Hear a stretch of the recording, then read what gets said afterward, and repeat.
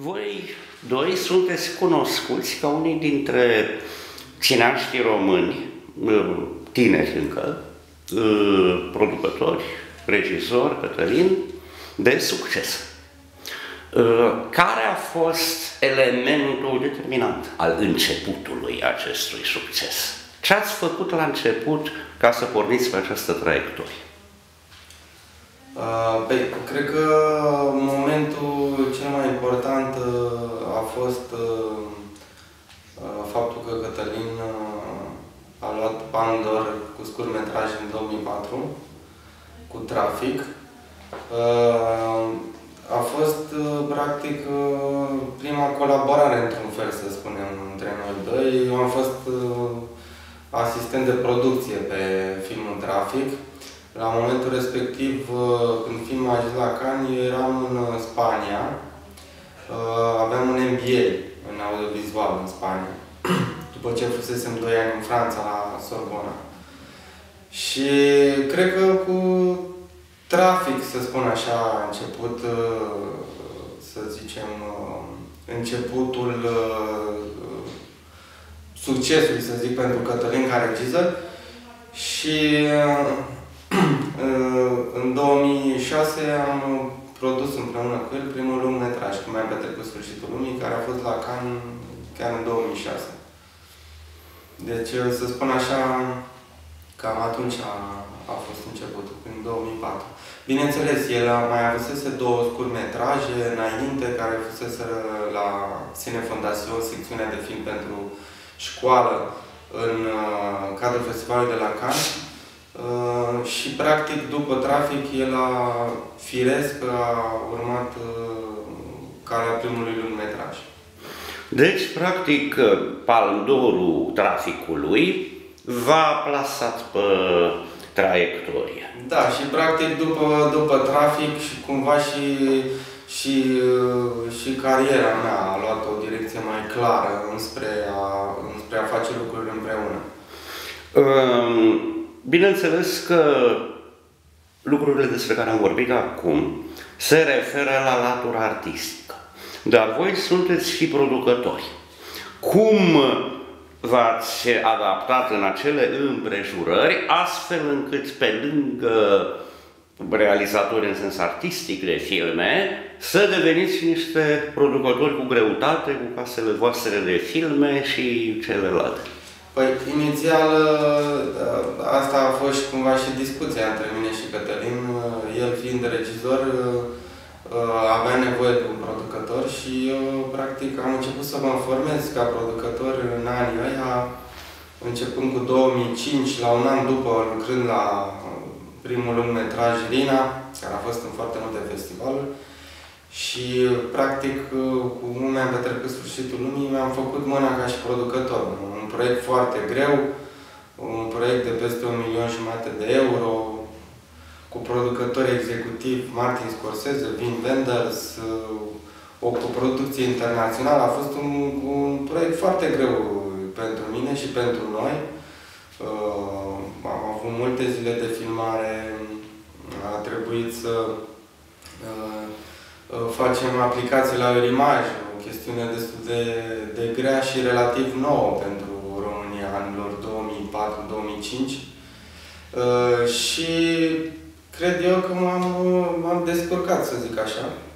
Și atunci, firesc, a fost ca eu să preiau mai mult partea de producție și Cătălin să încerce cât mai mult să fie regizor pe, pe filmele lui și, bineînțeles, implicându-se și ca producător uh, mai mult pe filmele ale altor regizori.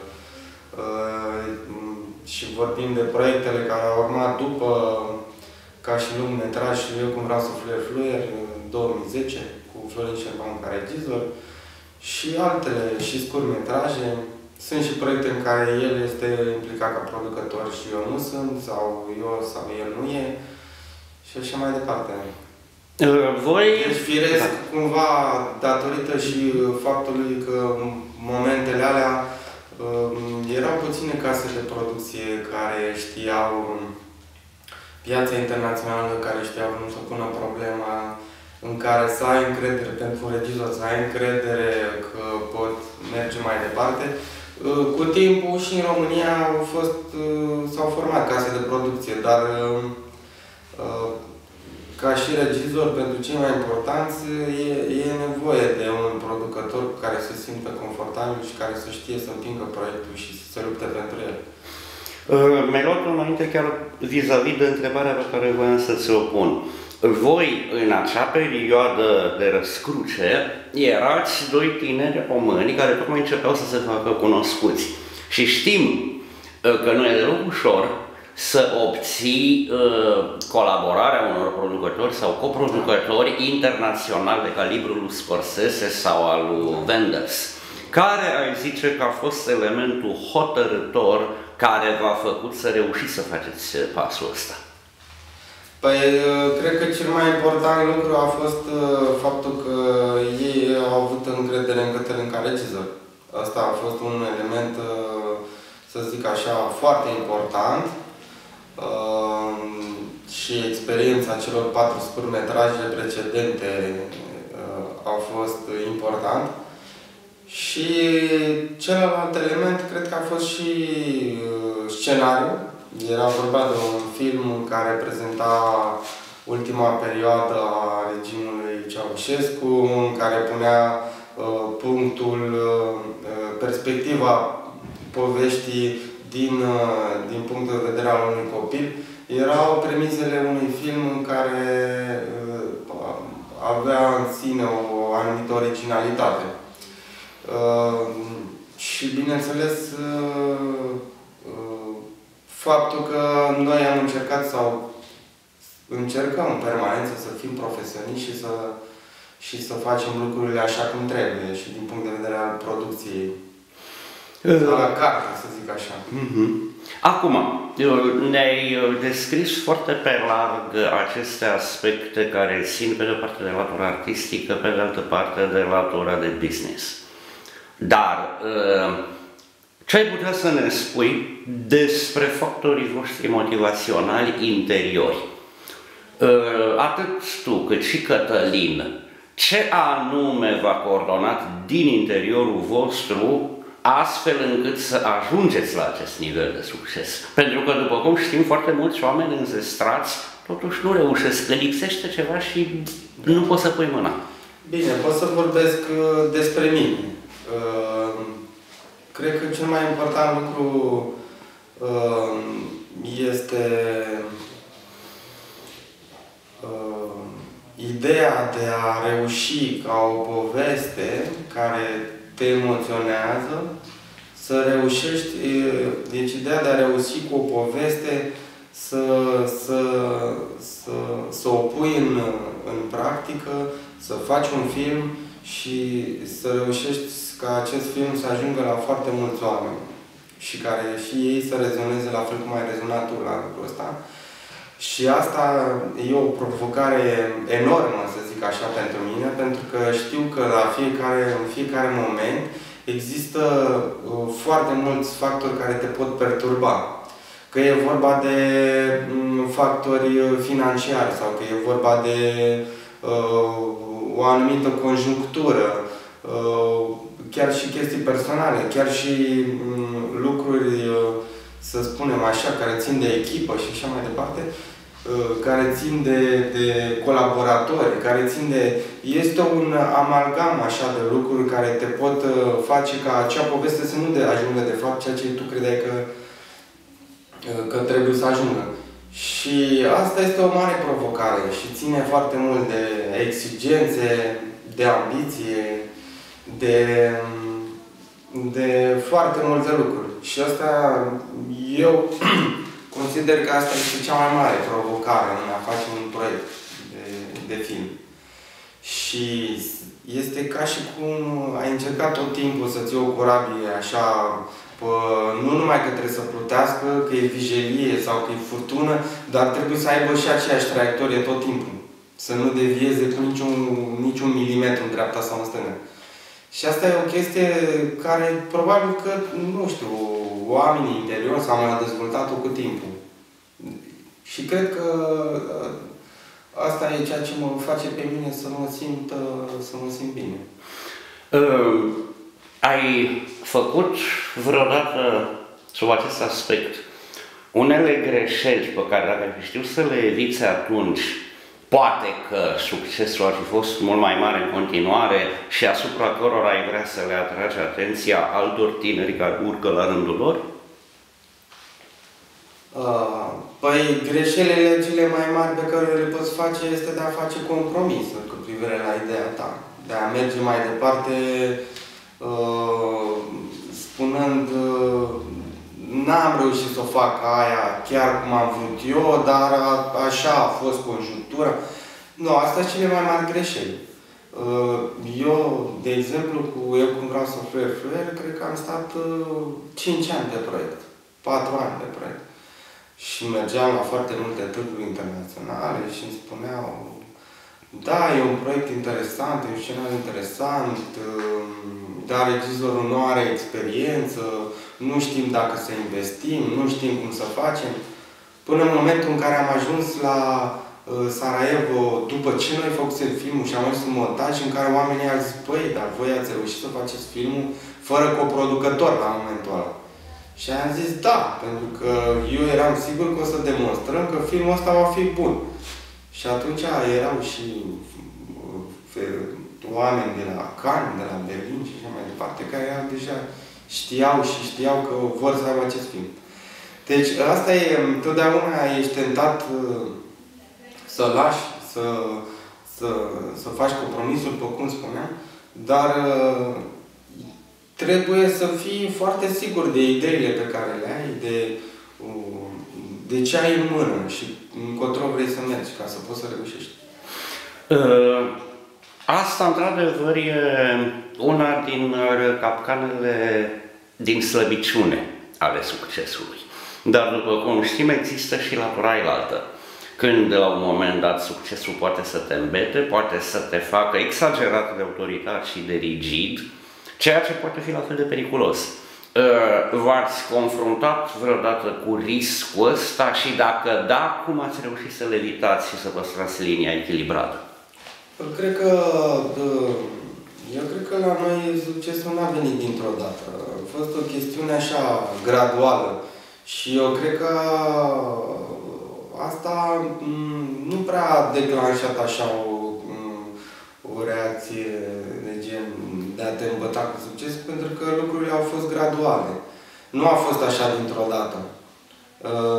Fiecare, și Cătălin cu scurtmetraje și lucrurile cum traiectoria lui profesională și a mea oarecum și cu, uh, să zic, anii de facultate și cu liceu, au fost niște lucruri care s-au clădit treptat. Și cred că marea problemă nu este marea, să zic așa, ce se întâmplă acum, este că noi avem o presiune singură asupra noastră, uh, care cred că e cea mai mare presiune, de a de a păstra rigoarea și exigența asupra proiectelor pe care le facem. Este o presiune pe care ne o punem noi înșine, nu, nu este neapărat o presiune care vine sau o simțim că vine din exterior. Deci, uh, eu aș zice că noi suntem, cel puțin eu și Cătălin, suntem concentrați asupra ceea ce vrem să facem și cred că știm destul de clar ceea ce vrem să facem și cum vrem să facem. De ce? Bineînțeles că uh, există tot felul de tentații, dar nu...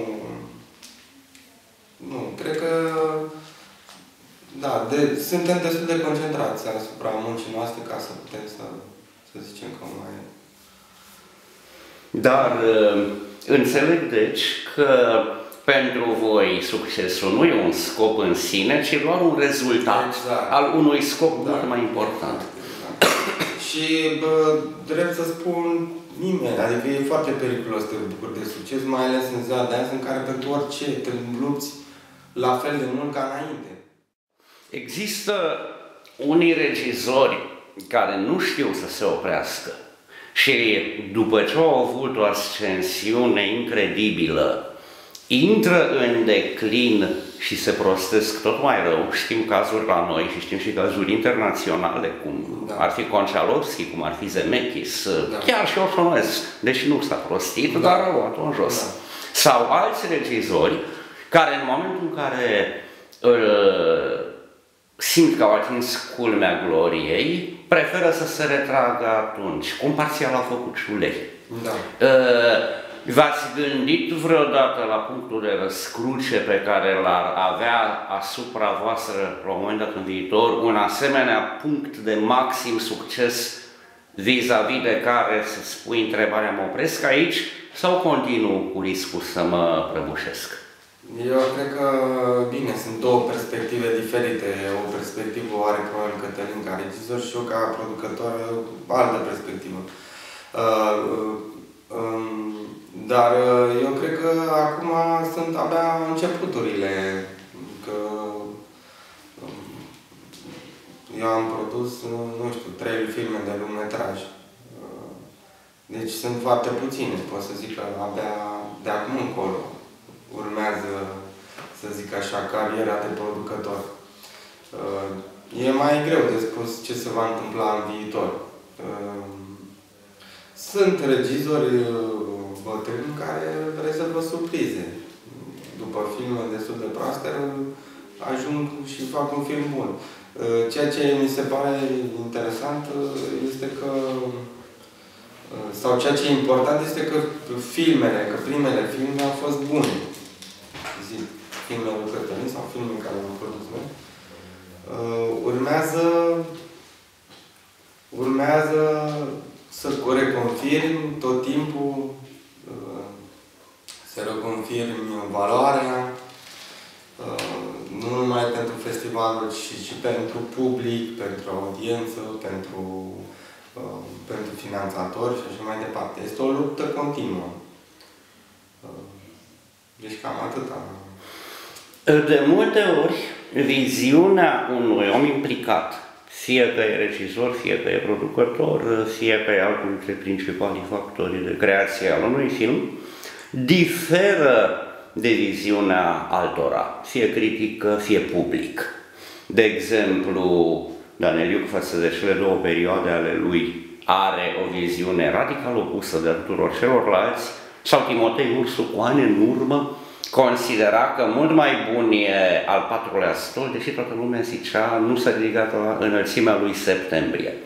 În ceea ce privește reușita oricăruia dintre filmele voastre, ați avut, fie în sens pozitiv, fie în sens negativ, asemenea nepotriviri față de părerile celor care contau din afară? Da, întotdeauna, întotdeauna sunt nepotriviri în sensul ăsta. Uh, sunt critici care nu apreciază anumite filme, sunt alții, în schimb, care le apreciază. Uh, cred că e important pentru un film, uh, nu neapărat e important să pleacă la toată lumea, ci e important să, să nască controverse, să nască discuții. Uh, cred că și în asta constă valoarea unui film. N-aș putea da exemple acum legat de filmele noastre, dar cu siguranță că au fost opinii și pro și contra mi-aduc aminte de lansarea cum a petrecut sfârșitul lumii, în care foarte mulți spuneau că perspectiva este prea mm, dulceagă, prea nostalgică cu privire la ultima perioadă a lui Ceaușescu. Și poate că filmul a venit într-un moment în care societatea românească poate nu era neapărat pregătită la fost cum au fost uh, nemții la un moment dat, cu genul ăsta de filme în care să fie așa o, ca un fel de reîntoarcere, dar mai mult sentimentală legat de o anumită perioadă mm, a vieții noastre. Și de asta spun că există, există oameni care rezonează și alții care pur și simplu vor anumit gen de film. Deci este greu să te adresezi tuturor.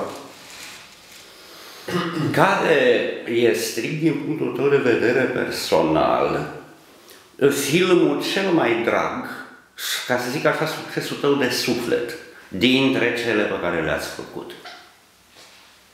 E greu de spus. E ca și cum ai compara proprii copii între ei. E foarte greu de spus.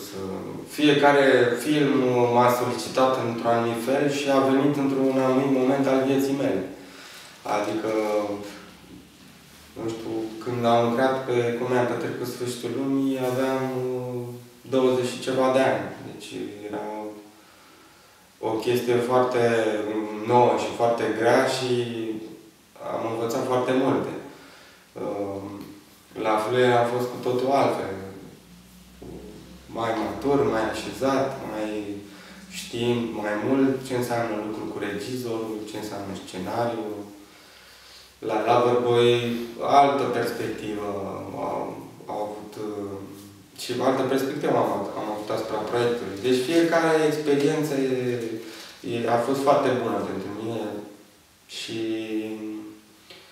uh, aștept cu nerăbdare lucruri care să mă solicite și care să, care să investesc ani și în care să și să am satisfacție la sfârșit că e de fapt ceea ce am vrut eu să fie.